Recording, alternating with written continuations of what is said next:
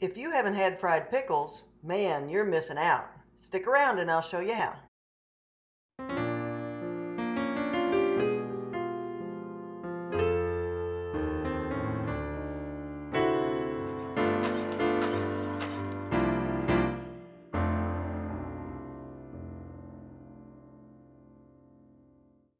If you saw my southern fried chicken video, then you see that I use the same breading technique as I do for pickles.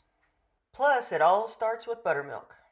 Set a couple of tablespoons aside for later. Get out the seasonings in a zip top bag.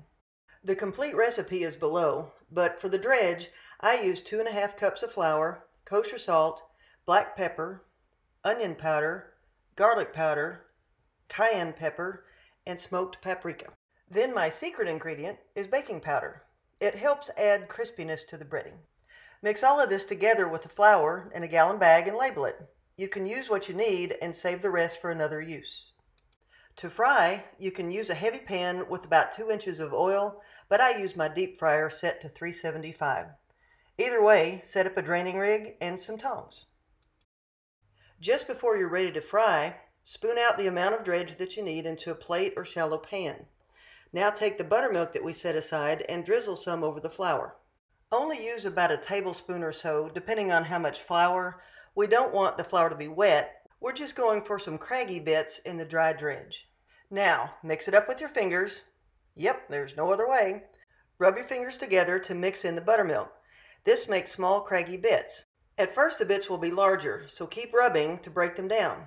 This may take three or four minutes. These craggy bits will stick to the chicken and make them really crispy when you fry them.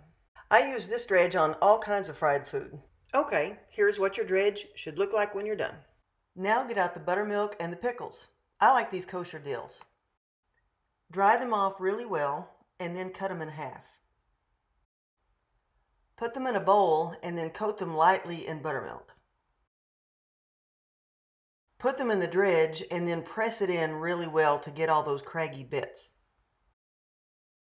Move them to a plate and then preheat your oil to 375. Put a few in the oil at a time and cook them till they're golden brown, a couple of minutes probably.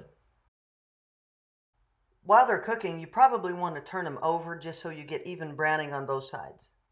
When they're done, pull them out, put them on a draining rack, and I wouldn't salt them again because they have a lot of salt in them already. Now just let them cool for a few minutes, put them in a plate, get some ranch dressing, and you're good to go. See you next time on Kimberly in the Kitchen.